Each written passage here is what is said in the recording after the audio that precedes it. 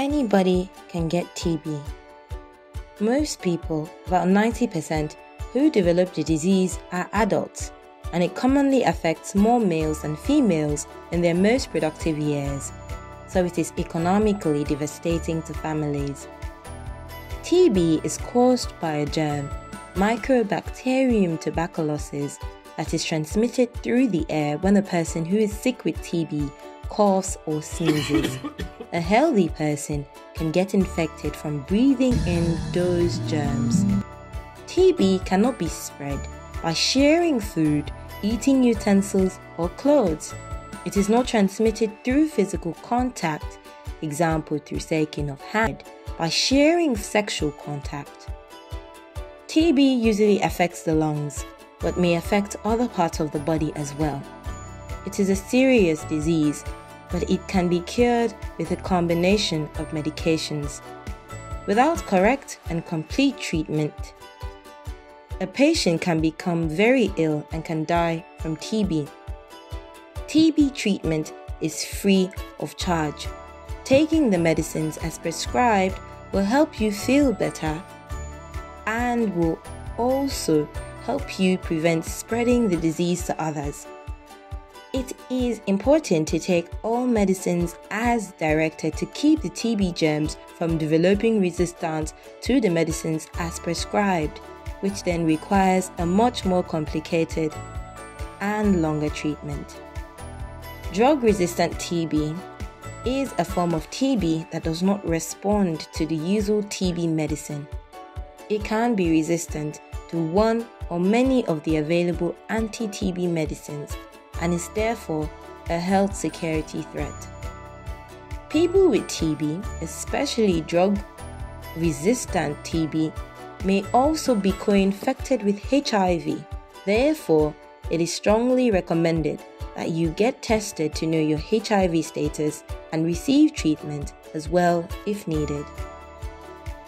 Taking TB treatment for 6 to 18 months can be difficult but it is very important to do so to avoid getting sick again. To help patients take treatment properly and get cured, different forms of treatment support will be provided for you. You have several options for how and where you will receive your medicines, and you can choose the best option for you.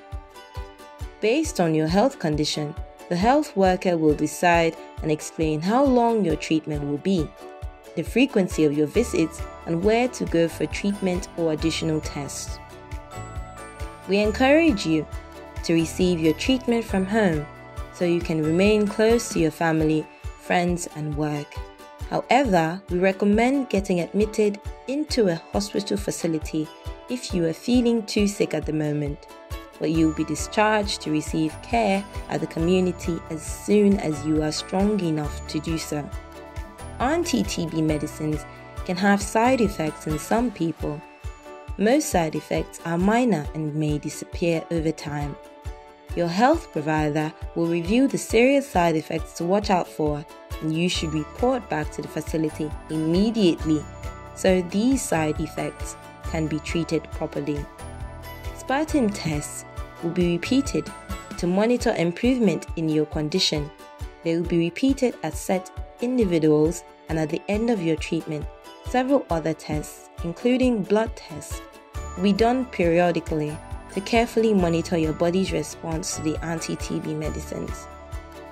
Tell us if you plan to relocate so we can arrange for you to continue treatment without interruptions. We will be careful about keeping your records in a secure location and not revealing them to others. You can prevent the spread of TB to others by starting your treatment immediately, taking medicines that are prescribed by your health provider according to the recommended schedule, cough into your bent elbow, cover your mouth and nose with a handkerchief when you cough or sneeze, open windows to allow proper ventilation with fresh air into your home. Limit close contact with young children, the elderly, or other people with weakened immune systems in the first stage of your treatment. All your family members in close contact, especially those less than 5 years, and persons living with HIV need to be screened for TB and treated if needed.